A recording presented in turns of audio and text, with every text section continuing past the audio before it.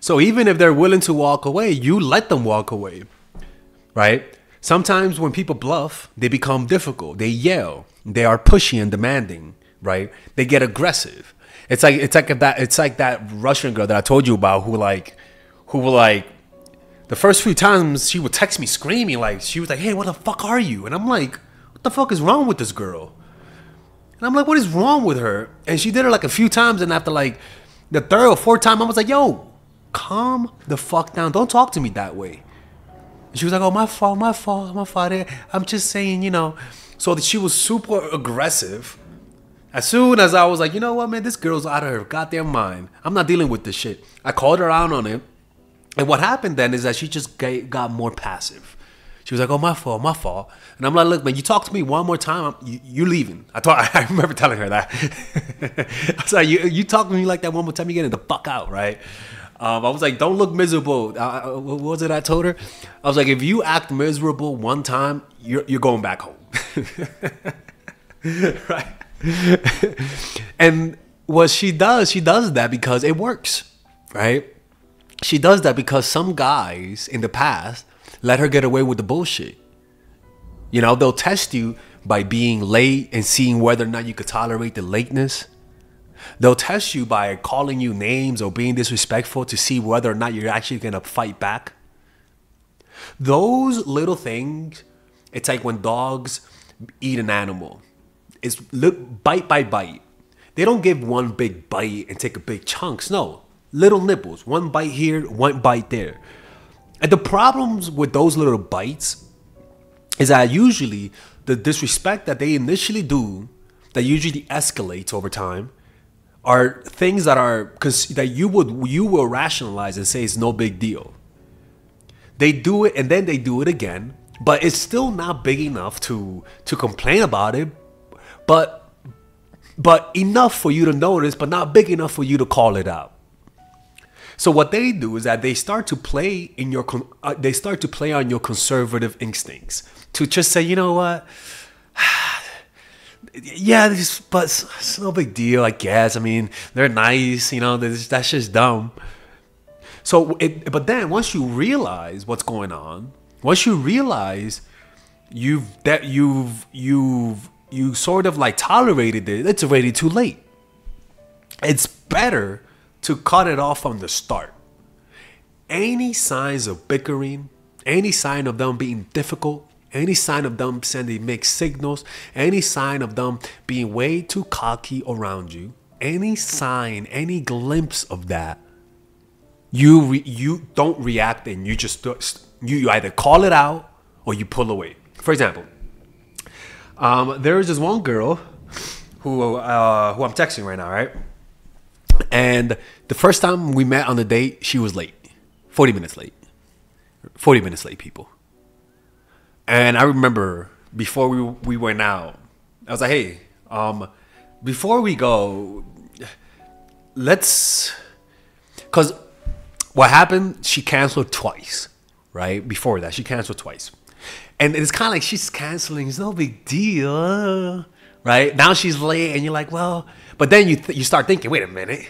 It's been this, this, and this. This is like adding up, but it's like small enough to ignore.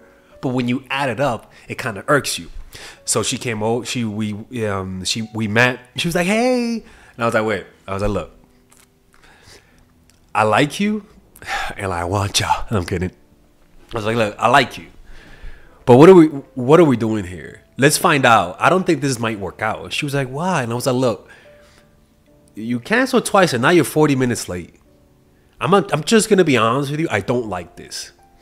So if you think this is gonna continue, it's better off right now we just cut it off and cut our losses. She was like, no, no, no, I swear, I swear, I swear, this is the last time it's gonna happen. And I was like, look, man, you told me that you're a bad texter. You told me that. And I am telling you that I prefer not to date someone who is naturally a bad texter. So if you think you're gonna be Miss Bad Texter with me, let's just get it out the way and just end it right now. Politely, obviously. I, I don't want to be an asshole. She was like, no, no, no, no, I promise not to do that. Well, the date happened, and she did that shit twice after the date where she canceled, and then she takes three days to respond. You know what happened after that? Blocked. but what I'm trying to tell you is that disrespect disrespect usually happens in small ways. And really sneaky people know this. And they know that if they just take little bites, you're not going to notice it. But it's still it's it still inflicts pain, but not the type of pain for you to really complain about if you barely know them, but enough for it to register and to affect you psychologically. Cut it at the bud from the start. From the start. Simply because people start testing you to see how much disrespect you could tolerate, how much bullshit you could tolerate, and this is how they do it. And these are all bluffs. These are all bluffs. They're testing your strength. They're testing your perceived value. They're testing your perceived self love that you have over yourself. They're testing it. They're trying to make you break your own rules. What you have to do is not react or mirror them. You could either not react or literally do the same shit they're doing to you and mirror them. Because then what that does is that mirroring people infuriates them. But they have to care. Cuz sometimes if you're if they're bluffing and you mirror them, it works, honestly. if they're bluffing you, if they're bluffing to test your strength and you mirror what they're doing to you, what you'll notice is that they're gonna start reacting and they're gonna stop the games because they know they fi- they know that you figured them out.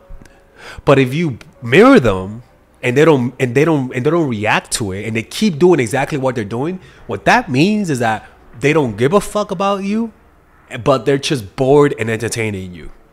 Don't pursue it. These types of people are chokeable motherfuckers. people that that you just like hate to know. Like these types of people are the types of people that that they just ruin your interactions. So what you have to do is make sure that you have a base of happiness from within yourself. Be so content within yourself that you don't need someone to make you feel fulfilled. And you develop that through developing a meditation practice. You can either purchase my course, Emotional Mastery, or um, go to a 10 day silent retreat. But that, fixing that, will allow you to deal with uncertainty and confusion without grasping out onto other people for validation and for stability. All you have to do is look inward through a meditation practice, and you'll find the stability that you used to look for in other people who try to freaking manipulate you. And this is how you do it, man. People bluff, and, and look, if you don't want people to bluff you, then just make sure that you become more at ease with yourself that you don't tolerate bullshit, that you develop self love through a meditation practice, develop self validation through a meditation practice, develop validation through your friends and not through romantic partners, and don't tolerate bullshit from the start. From the start, call them out. If they start, if they're acting super interested and they want to go out with you, but they take one or two days, they're scheduling the dates, right? But they take one or two days in between response, call them out on it. Respectfully say, hey, hey, Tyrone, hey, hey, Melissa, look, I I want to go out with you, but um, are you are you naturally a bad texter? Because if you are, uh, this might not work out. You, you get what I'm saying? Like you, you have to do this because people hide behind the the fact that they know that if you call them out, some people they know if you call them out, they can act like the victim and say, "Hey, you're being too pushy, you're being too needy, you don't even know me to be calling me out on that." If they play that card, fuck them. No, not fuck them. But if they play that card, they're nasty. They're dirty players. They're dirty, dirty players. They're the type of person that if you call them out on something that they did wrong, that they'll play the victim. You don't want to deal with people like that. All right, people, if you guys enjoy that type of content, if you guys want to work with me one on one, and you guys have some situations you guys want me to answer, um, maybe somebody's playing you, maybe somebody doesn't like you, maybe you want to make somebody like you, maybe you want to tell me your situation and, and see what I think, you guys can click on the description down below and purchase a one on one phone coaching call with me that is completely uh, confidential and nobody knows about it. And there I'll be able to give you my personal opinion about your situation. And at the end of the day, when you work with me, you're gonna get answers. All right. The point is, is that you're not gonna waste your time. Um, if you guys want to do that, click on the description down below. That's the that's those are the one-on-one private confidential phone calls.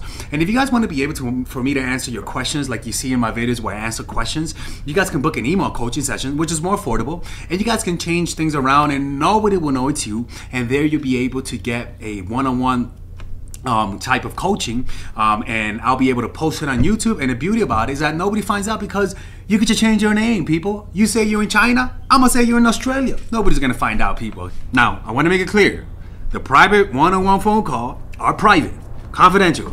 The email coaching calls, as you guys can see, are things that I post on YouTube. They're more affordable and they let me post a video on it. As long as you change things around, nobody will know it's you.